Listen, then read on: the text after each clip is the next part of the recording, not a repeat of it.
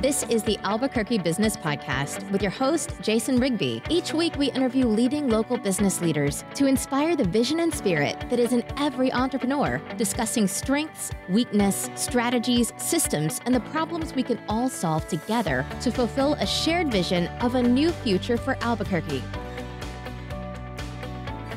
Hi, my name is Jason Rigby, and welcome to the Albuquerque Business Podcast. Today on our show, we have a very special guest. I don't want to give it away, but he is the owner of a local magazine here in Albuquerque, and we're going to talk with him about traditional and digital marketing. So stick around. This podcast has been brought to you by 99.9 The Beat FM. Uh, if you're living here in Albuquerque, tune on your radio to 99.9 FM, or you can go and stream it at work at www.99thebfm.com. That's www.99thebfm.com. We also want to thank Duke City Marketing. They are the latest state of the art digital marketing agency here in Albuquerque. If you're looking at doing Facebook ads, Snapchat, Instagram, uh, you know, Google, pay per click, SEO, whatever that may be, please don't hesitate to go to www.dukecitymarketing.com. That's dukecitymarketing.com. And I'm so excited today to have on our show Josh Vanlandingham. He's an entrepreneur and he's built a brand and a magazine here locally. Uh, the magazine's called Josh. It's Albuquerque Live. Yeah, Albuquerque Live or ABQ Live is what we usually go by. Perfect. Well, let's get into, if you don't mind, let's get into how you started the magazine. Um, but are, are, you originally from here in Albuquerque? I'm from a little north in the Jemez Mountains, um, but it's close enough that this is the was the closest city to where I grew up to. So right. I'm kind of, you know, basically from here. And then I moved here when I was 18, came to UNM and did the whole, did the whole thing and worked at UNMH. So I'm, right. I'm basically a Burqueño, as they say. Yeah. Oh, okay, perfect. Yeah. yeah. So you're, you know, raised. Yeah. You know, you were basically raised here. Now, um, as far as starting the ABQ Live magazine, how did that process? Where did that first originate at?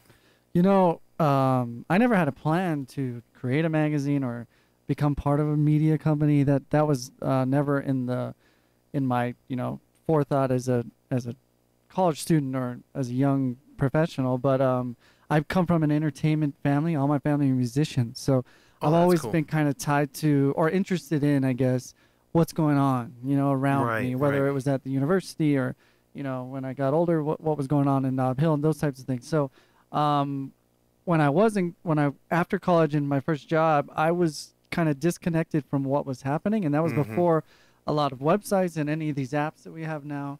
Um, so we created ABQ Live to connect people to what was going on. And at that point, it was really just a rinky-dink website that we built that had a Google Calendar. oh, I think that might have been a Yahoo Calendar. Um, oh, we're going back to Yahoo. so, Uh-oh. and all it was was listings, you know, and, and people could, you know, tie into um, what they wanted to do. And we're getting information from you know venues and bars and restaurants to the consumer, um, and trying to catch up with what the rest of other big cities were doing. Um, and then that eventually uh, evolved because we started taking images um, out and about at these events, uh, and the images started taking off. Right, right. And that kind of uh, created a transition into print media. I had seen, you know, San Diego had a giant entertainment publication at that time that had just got bought up by the by the news paper. So I was like, well, hey, why isn't there one for young professionals here in Albuquerque? Let's try to do one. And and if you look back at them now, they weren't so good. We were kind of trying to figure it out as right, we went. Right, right, But it was the evolution of the city, along with a few guys that wanted to evolve with it. Right, right. And I think something that you just said that's so key, and I want to talk about it because on your magazine, if you if you get those, I know they're you purposely place them where young professionals out. That yeah. seems to be your target market. Right. Can you talk a little bit about that? Yeah, uh, we don't have an issue with people picking up our magazine. It's a free publication, and, right. and if you look at it, I think it's beautiful. Um, but we have to be really particular about where we put it um, because I want our demo to be our target demo to be the majority of the people that are picking it up. So we we focus places like and and the target demo being young professionals and millennials. Mm-hmm. Um, a lot of the university area, so like Frontier and Saggio's, we go through tons. Places like Marble Brewery, where mm-hmm. lots of young professionals right. go through. Um, a few select places in Uptown. Um, we just signed a big deal with the new Salt Yard, so we'll be tons of magazines out of there. So oh, those types awesome. of locations where right, we right. know our readership is going to frequent. Yeah. And we feel like that that creates that symbiotic nature of that also helps the businesses, right? Because right, it's connecting. Right, yeah. them to them, right? And, and uh, you know, it is something that um, I want to talk about a little bit, especially here in Albuquerque. This young professional, and you said millennial, which is a scary word to a lot of people. And I know you do marketing and digital marketing, but um, your magazine, like you said, is beautiful. I, you know, I would rate it with any magazine that's out there. I mean, the the photography, especially on the food side of things, and we'll get into that later. But I want Right. to get into this young professional, this millennial, um, and how you gear the magazine for that in that arena. Well, I think there's a bigger window than there's ever been before for a young professional to spend money on entertainment, right? Right. Because a lot of them are waiting for waiting to get married, waiting to have kids, Right. waiting even waiting to buy their first house. Um, now they may not be making as much as previous generations, but they are, they also aren't they don't have as many bills, Mm, so they do right. spend on concerts, bars, Right. restaurants, um, Mhm. quite a bit more than they ever did, and, and it's and, and it's that window that's important because they do it for a longer time, Right. um, and and that's where we want to connect those individuals to the places that they're going to spend that money because they want to know what where that is, whether it's a show at El Rey Theater, or you know a beer release at Santa Fe Brewery this weekend. It, they want to know so they can go because they're they're the ones that are going to show up. Right. Yeah. They're they're the ones, and I think a lot of companies are missing out on that target market. Absolutely, yeah. And um, I think it's people are a little more aware in bigger cities where there, you know, there are bigger media companies and agencies that are targeting it. But Albuquerque, as you know, usually follows up behind a lot of Right. that. Right. Right. Um, and when I first started the magazine, nobody nobody cared about this group, zero. And it was hard for me. You know, I, I went from banging down doors trying to convince them that this this is an important group and they'll spend money in your place right. to now them calling me and saying, okay, our traditional way of advertising isn't working. What should we do to attract these groups? Right. I mean, that's a huge difference from where I started and where we are today. yeah. And I and I think that's that's important because you have dual incomes a lot of times. Yeah. Um. You it, some some may have one child. Some may have all. They're pet owners. Right. You know. So the list goes on and on in that arena. And I, I think millennials are coming. You know. We always think of them as being. You know, some of us that are older think of them as being as kids. True. but the age, you know, it, it grows older every year and it's there. the Yeah. millennials are the consumers now. Yes. Um, Absolutely. and they love to go out to eat. Mhm. They love movies. They love music. They love festivals. right. Um, you know, and especially with you and your magazine and what you guys do and, and how, you know, that ability to be able to create um, a story. Uh, and I think that's really important because, you know, on the digital marketing side of things, you know, Instagram is built off of stories. you know? yeah. Right. And, and I love when you do, you guys do like launches with new restaurants or whatever. Can you talk about that a little bit? Like, what is it? If I'm an entrepreneur and I'm starting a restaurant, what are some of the first things that I could do that would that would help me launch, especially here in Albuquerque? Well, I, I think you know this particularly is you got to get all your social media in order, right? Mhm. Um, and and um, anytime we're helping to launch or we're helping to brand, there's a checklist of things that you need to go through, right? And um, making sure that your brand, because it's easy for you. Say I'm the business owner. It's easy for me to understand my brand and my idea. Right. It's not always easy to translate that to a consumer Mhm. Yeah, you're and exactly being right. and being open enough to give feedback on whatever it is, whether it's your your logo that you that you love so much. right. If you need to adjust that, you need to adjust that. If you need to, you know, if, if you need to adjust your layout, you have to be ready for any of those things Mhm. because it can't be about you, no matter how how important this restaurant or bar is to you. It's about the people that are going to come in Right. and how they're going to react to it. Um, so that's the the number one I always the number one thing that I always preach is be ready to adjust because you're going to have to. Nothing works easy the first time. Um, you, there's going to be good things. There's going to be bad things. If you can't adjust, you're in trouble. Right, and I think um, on you know whether it's restaurants or bars or whatever, you know, uh, obviously doing a, a big grand opening and using your magazine. Can you explain that if somebody's looking and they're saying, Yeah. "Hey, you know, I'm building a restaurant or I'm building a bar for young professionals. This is something new." And I know you just mentioned the sand. Uh, Salt Yard. I mean the salt yard. Yeah, you yeah. just mentioned the salt yard. Um, can you kind of take us through the process of how they, if they wanted to hire uh, your magazine to come in, what what does that entail? Well, we do it a little differently than I, I guess um, some media groups would, is because we do dabble in traditional and newer forms of um, media. Uh, we we like to call it um, kind of a circular process. We our magazine really focuses on what you know, kind of what's happening and what's Right. happened, And if you look in there, there's a lot of imagery of people having a good time at locations, right? Um, and I, I, I, I call that indirect advertising. When you see an image, kind of like what Snapchat does, right? We were doing that in print before Snapchat came along. It's an image of somebody having a good time, and there's a filter that says where that is. Right, right, It's exactly. not. It's not about you know come in and get 10% off on your wings anymore. It's more about oh my goodness, they look like they're having a good time. I've seen this 10 or 15 times. right. I better show up. So we try to in- integrate print, social media.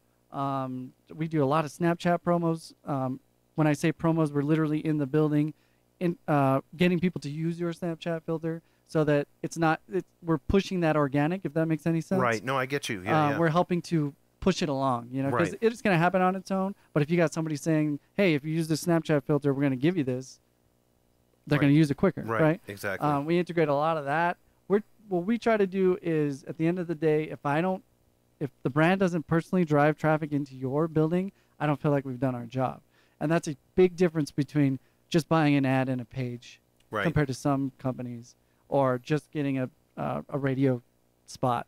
You know, you don't know what those are going to do, and that's a hard part on mine. The reason why I pushed it so hard is because I do a lot of the sales for us, and everybody wants to know ROI, right? right. If exactly. you see people in the building, you're getting a sense of ROI, Yeah. whether or not those numbers, you know, what those numbers come out to. If you know we brought in a group of 20, you're happy. You know, Right. Exactly. Yeah. I mean, you can see actual see the ROI. right, And then online, you can see it through the social media aspect yeah, and it. through the analytics and those types of things. And it, and you know, and I, I love what you- you're talking about Snapchat right now. If you do not think that millennials and young professionals on Snapchat, then you're wrong. right yeah it's and it's one of those things that um it's going so fast you know we're trying to stay ahead of it so we can make sure we can utilize it in the best ways possible Right. but it's we talked about it last time i talked to you it's kind of the wild west of marketing right now um, there's so many new things Mhm. and this is i mean this is the infancy of a lot of this stuff um, figuring out how to best utilize it and we take you know i'm always telling other people take feedback we take feedback all the time because we want to get better at it every day Right. Right. it's really important Yeah, no, and, and I think on your end, you know, having that ability to be able to um, take that uh, lens and look at it not through them, because a lot of business owners can get, like you said, they can get so emotionally and tied to their Right. logo, where you can look at it and say, "I've done all these launches. I know Albuquerque. Here's what's going to work. Here's what's not going to work," and so you can kind of bring that, you know, that other perspective into Yeah. an owner. We have a super unique position right now in Albuquerque. I, you know, I, I don't think there's anybody else like us because we've been on all parts of this. You know, I've helped companies with launches, you know, we, and while being on the media side, and we work with so many bars and restaurants, I've seen so many plans and so many ideas and different angles, and I've seen what works and what doesn't work. And then I'm also a consumer, and I'm really tied to the consumers because of the magazine side. Right. Exactly. So I got I get feedback from that side that uh you know just a bar owner nes- wouldn't necessarily get that I get to um, kind of tie into, um, which is exciting to me because because I have it just gives me a better perspective on um, when I do say something is going to work or not. That's from experience. And that's not from Mhm. ego, if that Right. makes any sense.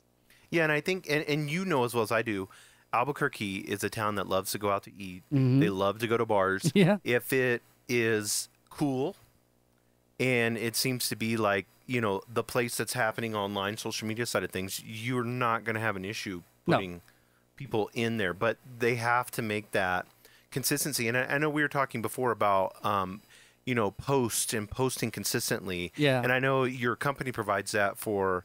Um, can we talk a little bit about that? Do you mind sharing with us a little bit about being able to consistently post on social media to gain that traction? Yeah, one of the big issues for a lot of these companies that we work with is there's never a dedicated social media person. You know, they don't hire for that in particular. Right. Um, and what ends up happening is those responsibilities get thrown on somebody else, and then they don't always, it doesn't always happen. And consistency, as you know, is the biggest part of social media.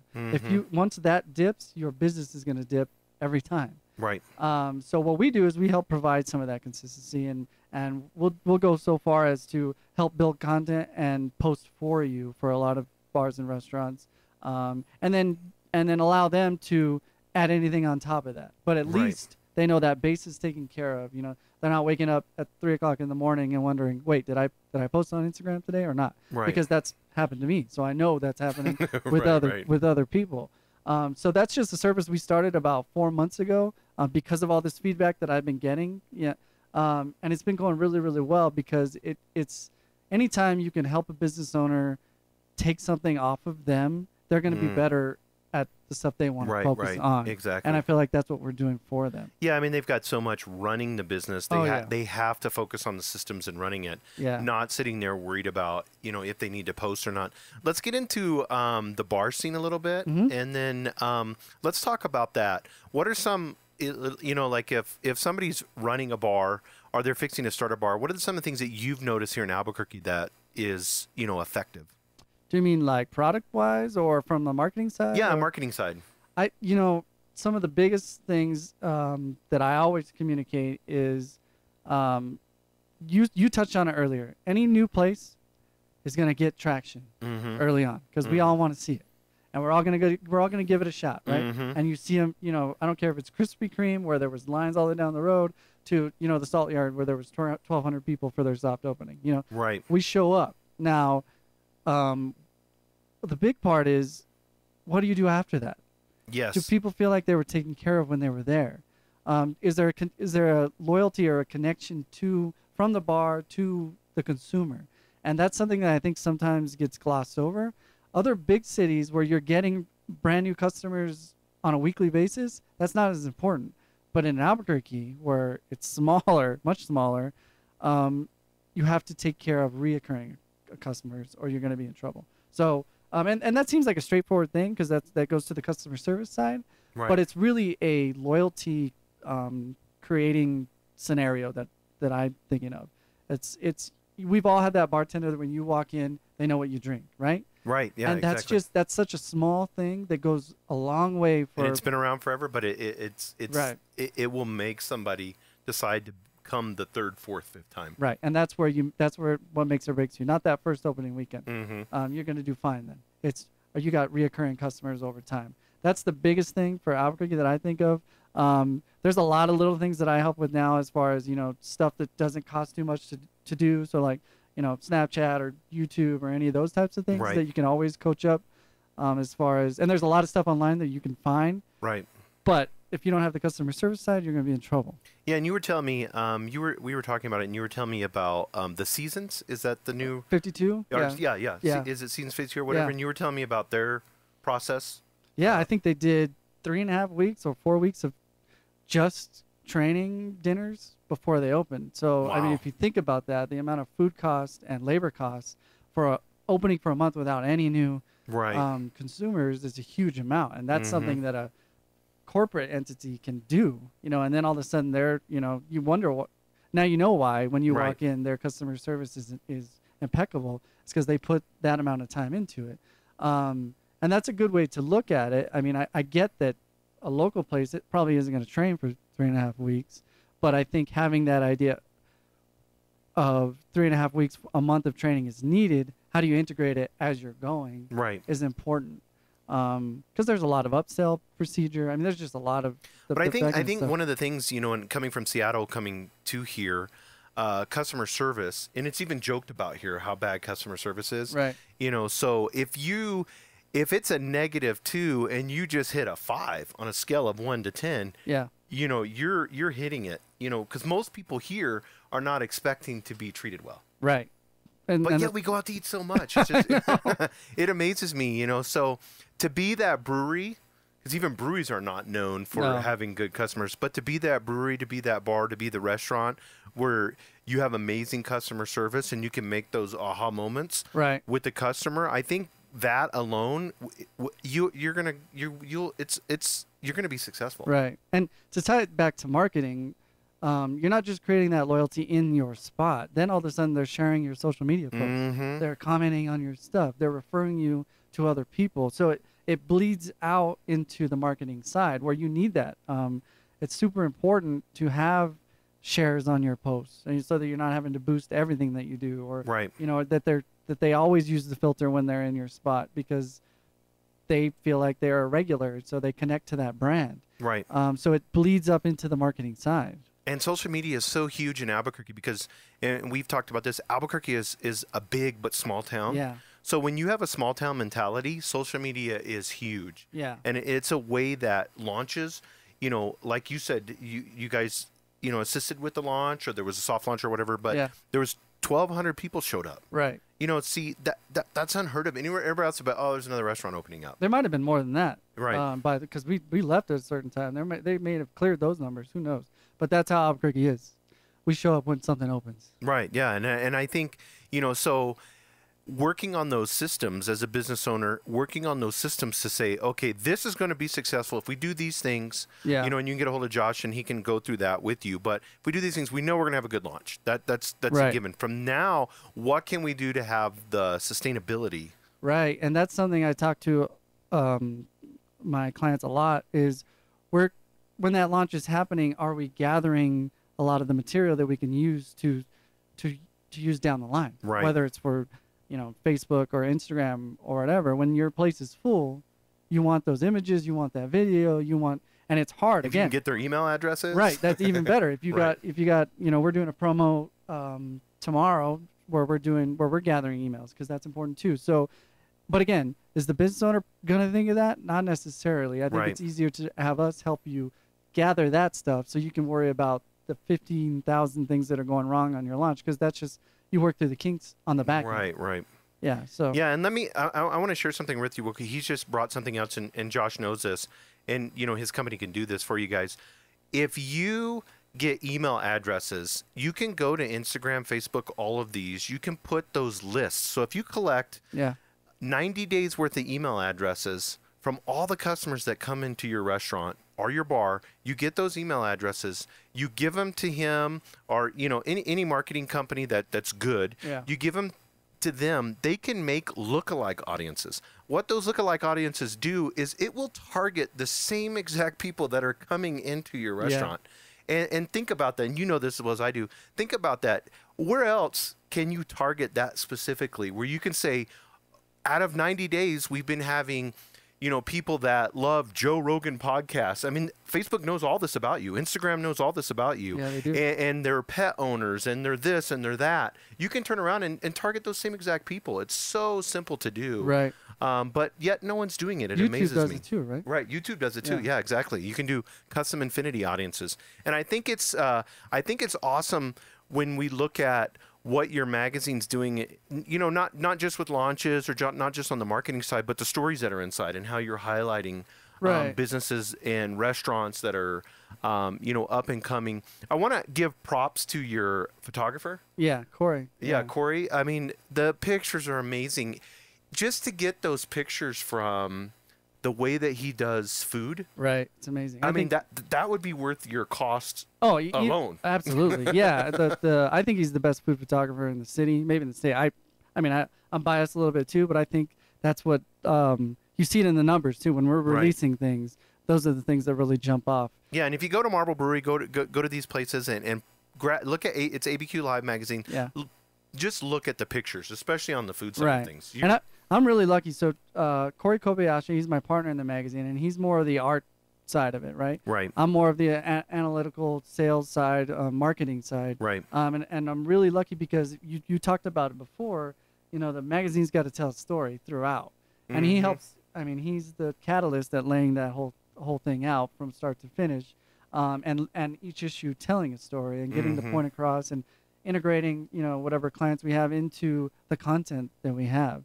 Um, so I think that's why we've worked together for so long and we work well together for so long is because um, he has an amazing sense of that side. Um, right. and then once I have the product, I can get it out and explain to why, explain to a client why we can help them drive traffic, right? Yeah, there's nothing worse than picking up a magazine and then you're just rolling page after page and there's no content. It's just Yeah, ad, right. ad, ad. Right. You know, and and that's what I loved about your magazine. When I first looked at it, I was so impressed with it because it, it basically highlights you have on the front cover, you have you know a, a business owner or you know a restaurant Yeah. owner, whatever it is, and then from there you go inside and you tell those stories. Um, you have a happy hour section in there, and I know you're going to be doing uh, an app. Yeah. We, t- we tested an app um, a year and a half ago, maybe two years ago, that went really well. Um, it just didn't do all the things we wanted it to do. Right. But we knew that there the interest was there. Right. Um, so now we're getting ready to release that. I'm hoping in the spring of 2019. Um, and and our happy hour section in the magazine has done really well. Uh, we talked about this before. Happy hour is one of the only things that I've ever found that crosses huge demographics. Right. I don't care if you're 21 and you're going to happy hour before you go out, or you're 61 and you're going to happy hour before you go to bed. You know, it's a huge demographic. This is important, business owners, to listen to this. If you own a bar in, in Albuquerque and you're not frequently updating your Yeah. happy hour and getting it out there on the social media, and I know you guys can do that, but Right. making sure that you're getting it out there so people know. I, is there a place that's unique with happy hour, or is there anything around There's here? a lot of them, yeah. Um, uh, I always go to Monte Vista because that's where I kind of started um, my way of thinking of what happy hour can do. Because um, the when I was in school, um, it was 15 cent wings Mm. and two dollar Shiner Bocks, and we were there every Tuesday, and so was half of UNM, and that that created a whole culture that is now Nob Hill Tuesdays, um, which is not typically a busy night in any city. Right. But for Albuquerque, we got so used and it became part of the culture that you went and had wings and beer on Tuesdays Right. that it built this this culture in that whole area. And that's what one happy hour can do when you get the right amount of people and the and the right amount of uh, momentum with it. So that I mean that they always do a good one. Um, there's there's so many now. Garduño's does a great one down um, in Hotel Andaluz, um, where they do live music and they got the patio out there in the spring. Right, right. There's a lot of them. Um, what were you saying? There's something early, like for people that were on Right. late shift or something? Um, Fiestas has a very unique happy hour. They do a early like morning happy hour for any of the late shift uh, people on the late shift that want to go have a beer after work, just like a normal person would. right. But you know their times are flipped around. So yeah, that's I, awesome. I think they're the only ones that are doing that I know of. That there may be some other spots, but that's that's the first time I'd ever heard of that. See, yeah, and that's awesome. That's being extremely creative. Right, and finding a niche. That's part of part of what you, if you're competing in Albuquerque, you got to carve out some kind of niche if you want to Right, be right. successful. Yeah, why? i- i- If you're if you if you're a bar, a restaurant, and you're right next to a hospital, why would you not do that? Right. Yeah, I mean it makes a whole lot of sense. I mean, there's there's shifts going 24 hours, seven days a week Yeah, there, and, exactly. You know, so young professionals um, that that work at the hospitals, you know, that love to go out after a shift and go out Right. with their. Um, I think that's awesome. Well, let me get. I want to get a little bit into um, not just you know the bar scene per se, but as an entrepreneur, what are one of the things that you would say would be most important for somebody that's starting a business here in Albuquerque? Um, that's interesting. I, I touched on it earlier. I think one of the big things is being able to adjust to whatever comes your way. Right. Because you're gonna have setbacks. I, you know, I, I could. uh, There's literally hundreds of setbacks that I've had since I've started. That Mhm. um, in the moment it's like, wait, how are we gonna get past this? Mhm. And then as you look back on it, it wasn't as quite the big deal that you thought it was. But if you're able to adjust right. based on those um, and evolve over time and making sure because like i said before my product wasn't a magazine when i started. Right. but i saw you know i saw a niche there that was open and we were able to evolve to fill that niche. And i think i think that's really really important based on whatever business you're a part of um, can you adjust and fill the role in that city? Because if, if you're trying to you know slam an idea into a place that doesn't work you're going to have so many problems Right. Exactly. but if you can adjust based on your audience based on your location based on your city in general um, or if you're doing you know maybe you're doing a web business that's national how what makes you different and how do you fill those niches i think that's really important Yeah, and I think especially now, um, and I love that you said that. Uh, people are try to be so general. You know, Yeah. oh yeah, well I'm gonna open up a bar and call it the Albuquerque Bar. You know what I mean? I'm, I'm making fun that way, but it's like you you you've got to be you've got to be niche nowadays. The places that we visit, there's a reason, a specific reason why we go there all the time. Absolutely, yeah. Um, and I, I think it's okay to start general, but if you don't ever focus in that that primary objective and that Mhm. primary audience and your primary um, focus for your business, Right. you're never gonna get very far. Right, exactly, and I agree with that. Well, we're going to take a short break, and then we'll be right back with Josh Vanlandingham. I want to make sure I get that right, Right. with ABQ Live magazine. Join us this week for another episode of the Albuquerque Business Podcast with your host, Jason Rigby. Each week, he interviews leading local business leaders that inspire the vision and spirit in every entrepreneur, discussing strengths, weakness, strategies, systems, and the problems we can all solve together to fulfill a shared vision of a new future for Albuquerque. Listen or download this Sunday afternoon at 4 from your favorite podcasting app. And we're back with Albuquerque Business Podcast and with Josh with ABQ Live Magazine.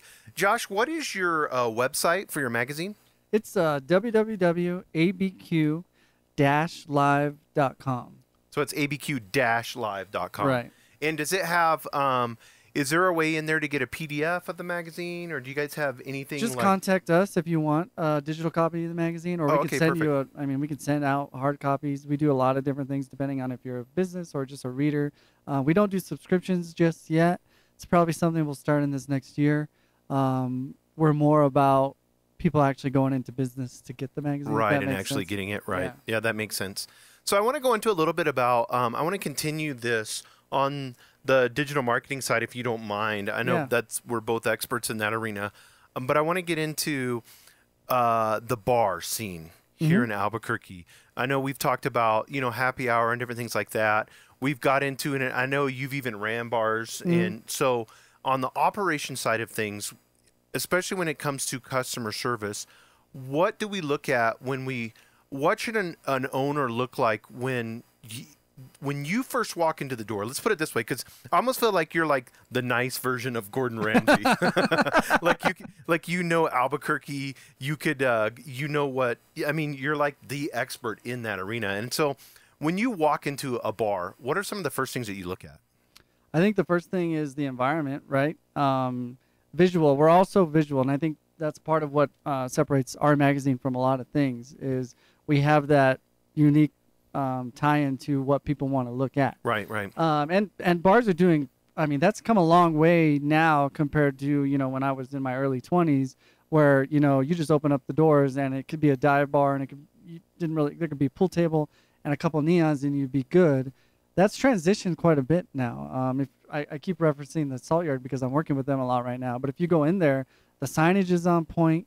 Um, there's a there's a there's a reason for every sign or painting or um, uh, they, they even have for example they have wings on a wall I saw that on Instagram. Yeah. right because they know somebody's going to walk up and take pictures and Take front a of selfie, wings yeah. on the wall um, there's there's things like that where it's really thought out compared to where you know where it was when I was in my early 20s so that's important being able to um, adjust your if you know your margarita margaritas look really good put them in a glass that's going to be photo photo pho- photographed sorry photographed really really well Right, right. um, um, things like that. I think that's really important, and, and and I always start to twist it right away into how are we getting what's in here out to the public at the cheapest way possible, and that's that's where my brain goes, and it's and that's that's the way you do it, right? You Right, want you exactly. want people to you want to crowdsource that marketing, and that's what Snapchat and Instagram and and Facebook will do for you. So that's that's number one.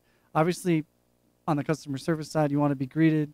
Um, again, we talked about it earlier. If if if, it, if you're a return customer, you hope that they remember you, and if they do, it puts you at ease. You feel Mhm. more comfortable. right. Um, a lot of that stuff matters. Right, exactly. I, I even I saw a thing where it was really interesting um, on the marketing side of things that they were putting different colored napkins. Yeah, You know, it with the with the person that came the second time or third time or whatever. it's very clever. There's a there's a few restaurant restaurateurs that do that where, um, if you see a red napkin on a table, it's because they're a first time customer, and then all the service and the, the the server knows that, the manager knows that because it's a different experience for them Right. than it is somebody returning. Yeah. See, I love that because that that right there distinguishes. So now you know, not that you want to treat them in any, you know, you want to treat them like they're a first time guest all the time, but at Right. least you know you may need to explain the menu a little bit Right. more. Um, you need to explain the drinks that you serve. Right. Um, and, and it's so interesting because you know, like we're we're here in Albuquerque, the Hispanic population, you know, is large, and, and we have amazing Hispanic food. Absolutely. And to how can you be creative with that? Like you said, the margaritas. How can you do that differently? You know, what type of um of you know, like you said, even getting down, find you can find unique glasses so inexpensive. Right. Yeah. And there and there's there's a lot of people that are finding unique ways. You know, even from uh, I, I just saw a video from Desert Valley who's doing some of the um, chili and cheese that they're pouring onto your plate at table side. Mm, you know, that's some, awesome. Some of that stuff that you can be. It is it is something that's maybe traditional, but how can you spice it up and and and create not create it differently, but do something differently in the process so it's different than enchiladas somewhere else or whatever. right, it is. just a hot plate coming to you. right. um, right, that customer experience. right, and making sure. You, I mean, we all watch Netflix. There's hundreds of shows on there that really go into you know these amazing customers experiences that some of these restaurants do, and you don't have to be over the top. But I think anything that connects the consumer's brain to, okay, that was unique, gives you an advantage. Right, No right. matter how how good or bad the food is. I mean, it can't be terrible. Don't get me wrong. but right, right. Yeah, and we and we talked about that before. A, a, a place that I've visited several times. I don't know if you know the place or not. I won't say it uh, on the air, but it, it's a really nice place to go to. It's kind of like the place to go if it's nice, you know, nice, and you want to go have drinks. for New Mexican food. Yeah, yeah. No, no, not for Oh, New okay. Mexican food. Just in general, they Oh, have all gotcha. different types of food, but it's known out there. And I've talked to other people, and I went there and experienced it myself. I was like, this is such a beautiful place to go to, but the food is horrific. Oh yeah, yeah. I probably know what you're talking about. and that's sad, you know that Right. that it, it's that missing element. True. How do you get that back? You know what I mean? That's tough. Yeah, it- it really is tough, and it's it's amazing if we're talking about the same place.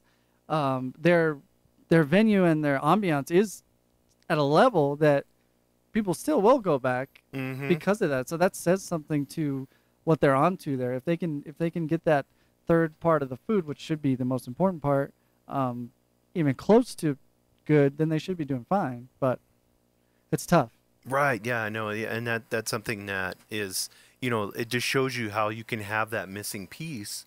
And as a business owner, having somebody come in and tell you or show you that, you know, and taste your food and go Yeah. through the process, um, you know, that it's so important because I don't know how many times I've had that where I've had somebody, and it kind of hurts your feelings a little bit because you've poured your blood, sweat, and tears into the business, and then somebody come around and tell me, why don't you do this differently, or why are you doing that? We don't like to be questioned. Our ego doesn't. Oh no, it's tough. That's really hard to take, and you just have to kind of step out of the moment for for a minute and remember long term. That's what I tell myself, at least. You know, because I say I like feedback, but not all feedback is good. Mm-hmm. Um, so, but being able to use that, and and some of it is is real and useful, and some of it's not, and being able to pick and choose that. But right. but you're right. I've I've been there where it's like, dang, um, we are doing this wrong, or this looks wrong.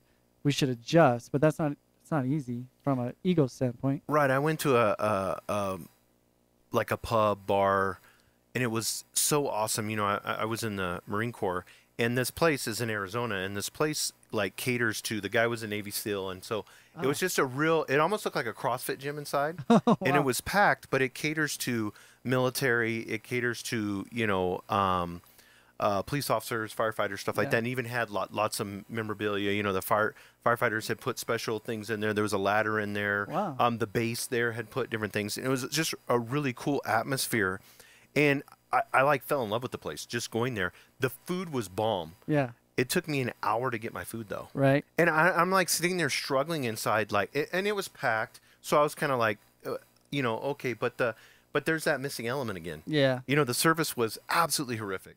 Yeah. And, and and then I felt even worse because I even went to their website and read about it, and it's all they only hire veterans oh, okay. um, to you know and, and disabled veterans and stuff like that to help serve Right. the food. So then I'm feeling bad about the review that I left because I was like, Yeah. this place is awesome, like Yeah. super cool. They need to have more of these, Right. you know, because it creates community, Yeah. which is really hard to do. But waiting an hour for my fish and chips it's tough. you Yeah. know you know i literally an hour waited and I, and i so wanted to give it a great review i so wanted to to fall in love with it you know even more than what i had but it that little thing kind of ruined it you know Right. Yeah.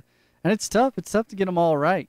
Uh, it's not an easy industry. I mean, what other industry do you have thousands or millions of people, especially now, able come in able to come in and judge you yes for every little thing that you do? Mhm. I mean, it's it's a tough, tough business. And what I what I always tell everybody is, um, don't review unless you've been there two or three times. right Get exactly a get a full picture. Try some different plates. Give the benefit of the i doubt love to that the yeah place you're right yeah because it's just too hard, especially if you go for opening.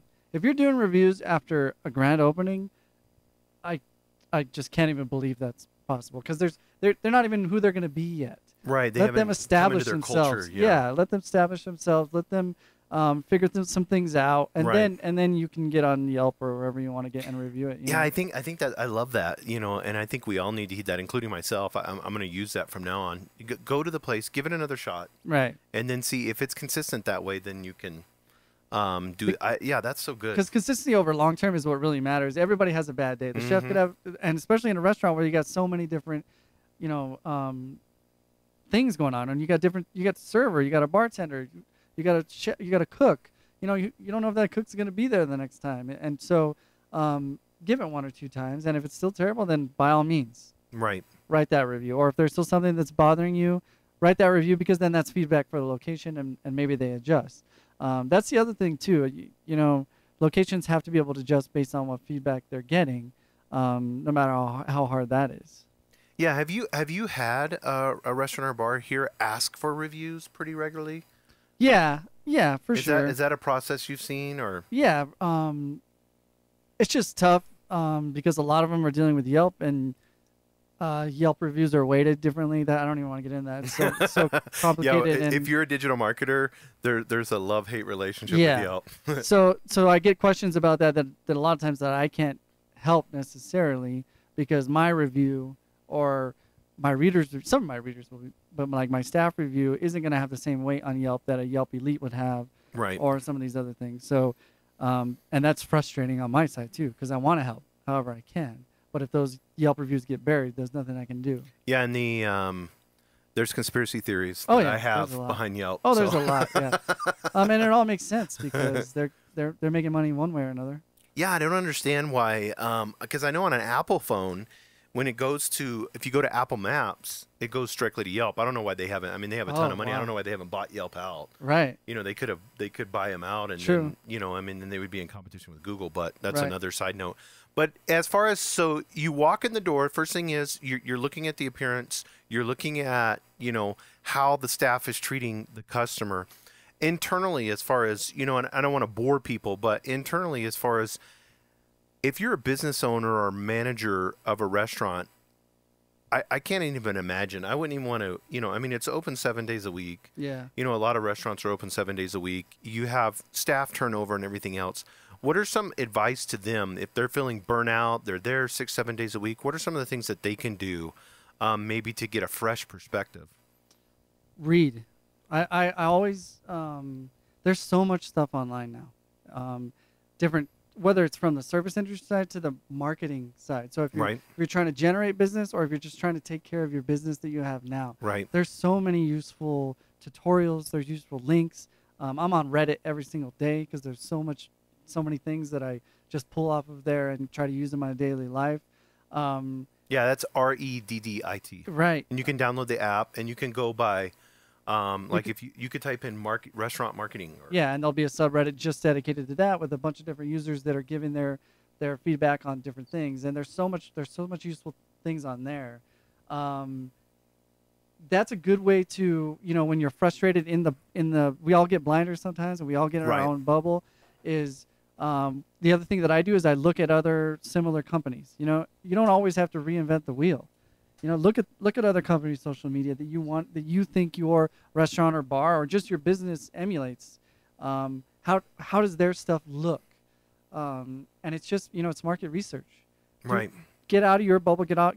Step away from whatever business you you have for a minute, and try to pick and choose whatever you can that's useful from other people that have done it well and are successful. Right, I, I, and I do that every year, and I think, and it's something that I had learned from an actual pastor uh, uh, of a church had talked to me about it, but that he takes um, two or three days, like a weekend or whatever, and cuts his cell phone off, Yeah. and goes and takes his laptop and will do the research, and will go, and he goes by himself. Wow. You know, I mean, you could take off to the mountains, you Yeah. could go to Santa Fe, you could go to Arizona, wherever you, Dallas, wherever you want to go, Right. um, and sits there and just takes that helicopter view Yeah. gets out of the madness and gets up and looks. And I think I, I think what you're I mean everything you've been saying is amazing today, but I think that is so important when you take that view where you can look down at Yeah. um, your bar or restaurant, you know, or business, not get so stuck into it, you know, Yeah. because we've all seen where we've we've all done it where the mop bucket sitting out there. We didn't see it, but the customers are looking at the dirty mop, you Yep, know. yep. Um, and we we've walked past it a bunch of times. Yeah, it- we we've gotten so used to the dirty glasses sitting up on the counter with the little tray. yeah, You know, uh, uh, or, or you know, people yelling and screaming at each other. You know, and Yeah. because it's their business and they don't care that the customers hear them. You know, right, right. you know, it's those things that we get into. Yeah. So. Um, perspective is the thing there, though, right? And and not everybody, especially when things are crazy. I, I get that you can't take a week off and decompress on a beach somewhere, right? right. But if it's an hour or if it's a you know if it's an afternoon or whatever it is, getting it out and trying to I I call it like perspective exercise. I'm I'm always trying to make myself see the big picture, especially Mm. when things are frustrating in the in the Right, micro in the right. in the moment. Um, pull out of it, see see what the big picture is. If it still makes sense, what doesn't make sense, because that's where you're going Right. it doesn't it doesn't always matter as much what's happening right this moment as where you're trying to get to. Mm, yeah, that's so good. I love that because at the end of the day, you have to look at and say, um, "Am I treating my customers well? Yeah. Am I serving them to the best of my ability? Is my staff serving them to the best of my Right. ability? And if they're not, then either it's ultimately, I look at it this way. Ultimately, it's my fault as, as an owner, Yeah. and there may need to change that I need to make. Um, let's get into that a little bit. What if somebody wanted to make? What if a business owner wants to make a change, or, or a general manager wants to make a change, um, and they get a little, um, they're getting some rough feedback. You know, maybe you are a general manager uh, uh, of a restaurant, and the owners, you know, are stuck this way. What are some of the things that you can do to kind of help create um, that change? Feedback. So that's another useful tool for social media, right? Because a lot of things that work start as small. Maybe it's a maybe it's a special that you just threw out there, or maybe it's a happy hour that that you tried, right? And if you're seeing feedback from one sales numbers, right? Right. and then two, um, if you create something and it and it goes bananas bananas on social media, going to I don't care if it's your your boss or if, if it's me going to somebody trying to get them to uh, work with me. If I can show them numbers, if I can show them, look, people are interested in this Right, data exactly. analytics, that Right. works the same way. Right. Um, and, and I think a lot of times, you know, when you're you're in the business or you're a general manager or you're a manager, you don't necessarily think of it like that. I mean, Right. me and you are both marketing guys, so I think Right. we, we may think of it more like that. But if you can prove there's interest, hey, the owner still might not be into it, but at least you did your due diligence and you know took the feedback that you're getting combined with information and presented it right it's uh, to me i look at it as if i was presenting something yeah, and I, I, think I, I think anybody if they if they saw feedback, you know, especially on the social media side, and let's get into that a little bit. So let's let's say you are a business owner, general manager, and you're wanting to get more into social media, and you own a bar or restaurant. What we, we talked a little bit about it. We kind of went surface, but let's go a little bit more detail if you don't mind. Um, let's pick Instagram for instance. You know, I actually saw that new launch with that one place that you're talking about. Yard. had- I saw their logo with the little dog or whatever, yeah. and then it had. Let's get a little bit into Instagram if you don't mind, and a little bit more detailed with that. what as far as what what a business should be focusing on Right? Yeah. Exactly. yeah i think i think instagram is as um, more so than any of the social medias is uh, imagery visually driven right Right. Um, so your Instagram needs to, and, and there's two ways to look at this. One, you're looking at every image by itself, right? Mm, And then you're looking at them all together because there's a theme. mhm. And I think sometimes that that second part is lost. But if you look at some of the really, you know, beautiful and well thought out pages, when you scroll through it, there's a theme through the whole thing, even down to colors. Um, and if you have you if you're if you have certain colors in your logo, um, the the the ones I notice, um, they'll integrate those into imagery throughout. right. Um, right. And and I think that's important. That that's that's a more of a artistic side of things.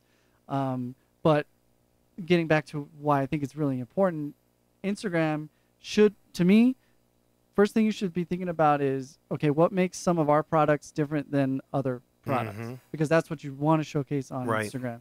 Um, you brought up the Salt Yard. We did, a, you know, there was a video on there uh, that we launched yesterday of their uh, what is it, a jalapeno margarita. I I forgot what it's called, but people started sharing that like crazy because it's unique and the, and the video was really high quality. and they're they're trying to carve into that difference between them Right, and right. everybody else. If your burger looks exactly like everybody else's, why would anybody share it? Yeah, exactly. Um, so it's really Sharing really is free too. right? and that's how I think about it. You know, I, anything you put on there, you're trying your best to get people to like, comment, and share. Mm-hmm. And if you're not, then why are you putting it on there? Right, exactly. Yeah, and I and I think um, and using Instagram stories. Yeah, that's important too. Yeah, I mean, Right. uh, we all go up there and click those little circles Yeah, and watch all of those. And Sure. and if you don't know, I encourage you. If you don't know about Instagram stories, go online and read about how long people are staying with Instagram stories and and how like right now. Um, I just read an article here the other day. Um, and, and I know you know the same thing. Instagram is, is number one right now. It's, e- especially for that demographic that you're trying Yep. to reach, the young professional. Um, they're staying on site on that app longer than people are staying on Facebook Yep. or, or, or any of the others. So those stories hold people. And if you're consistently creating content that you can put, like a launch, you know, for instance, you can literally take all those videos that you've done at the launch, everything that you've done at the launch, from your menu, from you know, Yeah. from your presentation of food, you can have so much content off of that two hours or three hours or whatever it is. yeah, that you can use for a lot of different things. Yeah, you can use it for several months. You know? Yeah, Um, and I and I think that's important. We forget about, and it's so easy to post Instagram stories. It really. And Yeah. if you need a bartender to do it, or you know, and that's what I encourage uh, people to do. If you have somebody that you know is deeply ingrained in the culture, Yeah. if you can't afford to hire somebody to do social media right. um, at your business, get that cheerleader that loves your business more than anything, Yep. and give them access to your accounts and let them post for you and yeah, I've encourage done it. that. I've done that. We've done that all the way back. I mean, we way back when we before, I mean, when we first first started the magazine, we had um, a go-go dancer down at Effex that would do social media for us in the club. Yeah, see, that's perfect. Right. Especially in that arena. Yeah, I mean, you have a club, literally, you have content yeah, every night you're open. right. And I get there is some, you know, hesitation or wait, we don't want to give everybody your passwords, and you don't. That we're talking about somebody that obviously you trust and cares about your brand. Right. Right. It's not just some guy sitting at the bar here. You can change your password in two seconds. You can. I yeah. mean, if we're giving them access to the register, Right. yeah, you should be fine with the Snapchat password. Yeah, yeah, exactly. And, and then just watch it, you know, and Yeah. monitor and have a couple other people watch it and monitor it. But um, that person that, that, that person that, you know, I went to a brewery the other day and you could just tell um, the waiter had so much passion for the beers. yeah, you know somebody like that he would love to be able to take that beer and talk about the beer and walk around and go in behind the scenes Yeah. and watch it being brewed you know and and it's just sad because you don't see a lot of that on instagram you know there, there's Right. there's a few bars and breweries that are doing it well but show how you make the drink Yeah. you know i mean i know we don't like to give all our secrets away but sure. you know it, that stuff people remember that when they when they see things the content you know like pouring the you said pouring the chili in the Yeah. yeah, Yeah. stuff like that. I mean, it, it's so unique. Um, So so you, you touch on something behind the scenes is really important because it makes it makes uh, consumers feel like they're getting access to something they're not supposed to see. Right, yeah, yeah. um, and we all love that. That's why Yeah. we love reality shows. Right. Yeah. So that's really important. Don't be afraid to, you know, t- yeah, talk about what you put into the food, or or go back and you know get an image of the of the cook, or behind the Right. scenes really ma- really works. It really matters, and, and go on there as a, re- uh, you, you know, it's so funny because I watched this one time and it was so interesting. Somebody went on there and it's like, hey, you know, we had some issues for the last couple weeks and we've got them figured them out, and and they talked about it. It was Yeah. a, manufa- a, a United States manufacturing company. oh, and they were like, you know, the looms were messed up. We're sorry. Uh, they even went on at Christmas time. And they're like, we're sorry these products. We underestimated the amount of people that would buy them, and we're sorry that they're out of stock. Here's the reason why. yeah. You know, and they went into, you know, this person. You know, we had to let them go, and so distribution was down, and you know, and I watched the whole thing. I was really intrigued. You know, and, and if I'm watching, I know other people are watching it, but it made me like, oh, it made me think like they're normal people. Yeah. Yeah. It's not robots, you know. Right, and if you can, again, if you're connecting to your audience, they're going to be a lot. They're they're going to hold back on that review until their third time because they know you compared to, or they at least you're honest with them, right? Right, right. Um, I think one of the things you touched on earlier um, about waiting for an hour. There's two different things there, right? If you wait for an hour and you're the only one in the restaurant, you're probably going to lose your mind. But if you're in a super busy place Right. and and the staff is like, hey, we're really slammed, we're doing whatever we can for you. You know, here's a complimentary chips and salsa or something. Yeah, an update. Yeah. Then just that honesty goes Right. so far and it alleviates so many issues. But there is that stigma where everybody wants to seem like, oh no, everything's fine, everything's fine, everything's fine, when it's obvious not everything's fi- everything's fine. Just be straight and. So how do you empower? Let me ask you this: like bartenders and, and wait staff and stuff like that. You know, free chips and salsa or free drink or Yeah. whatever. How do you empower that to the employees? One, where they're not giving it away all the Right. time. Um, you know, eh, but when there's situations like that that they can, I know Nordstrom does amazing at that. Um, but you know, ha- have you had success with that, or have you Yeah. seen success with Yeah, that? Yeah, absolutely. I, I'm all about taking care of um, of people. So um, you just put in systems, and, and really there's a there should be uh, a step by step approach. If if you know somebody's sitting at the bar and maybe their food order got wrong, so it's going to take an extra 30 minutes. What is the process? It's almost like you know, way back, way back, I was in uh, I worked at a call center and I was in uh, sales, or I was in saves. I'm sorry. So you had a whole list of things you could go through to help help Right, right. the process, right. So it's the same kind of thing, where the management knows, okay, if if if they did wait an hour, then it's okay to give them chips and salsa. Or if there was an issue with their food, then it's okay to comp it in these scenarios, right? And it's Right. just about the the systems and the process that you have in place. Because you're right, you don't want it just happening willy nilly everywhere. Because then all of a sudden, everything's getting given away, and you don't know why. You know, so um, systems are hard, especially in bars and restaurants, um, because there are so many variables. But the more you have, the better off you're going to be. Yeah, and I think the medical industry is really good with it as Oh, far as resetting the clock. They Yep. move you from one room to the next room to Yeah. the next room, and It's they really each have clever. Yeah, it's and so next thing you know, you've been there for 45 minutes. You haven't seen the doctor yet, Right. But you feel like stuff's happening, Sure. you know. So, um, and That's it- another reason why you see um, waiting rooms, right? And then you go and then you get seated, but there were tables open. You know, they're they're doing the same thing. They're separating those times. Maybe they didn't have a server for those tables anyway. right. But it doesn't feel like if you're waiting in the waiting room for 45 minutes, or if you're waiting at the table for 30 minutes. Right. If it's split up, it doesn't feel as long. Right, exactly. And it's always amazed me too why um, there haven't, you know, when you're waiting, maybe it's a full restaurant and you're waiting, um, how understaffed bar the bars are. True. You know, and then because I always like if I have to wait and I know it's going to be a long wait, I like to go get a drink. You Yeah. know, I'm going to go get an IPA. Yeah. Um, you know, and then you have to cash. It's awkward. You got to cash out with the bartender. Yeah. You know, and get Yeah. that one drink or give them your card and then transfer to the table. And I know people don't, you know, tips and all Yeah. that stuff. Um, it's always amazed me why a restaurant or bar hasn't had something, a process for that part, you know, just to make sure people can get drinks. There's some more things being implicated. POS systems are getting better and better. Um, I mean, I'm sure you've been to places now where they're literally putting it on a pad when they're ordering. Right, yeah. Right in front of you. That's going to increase some of the things. Um, as technology goes, I think a lot of those things will will go away.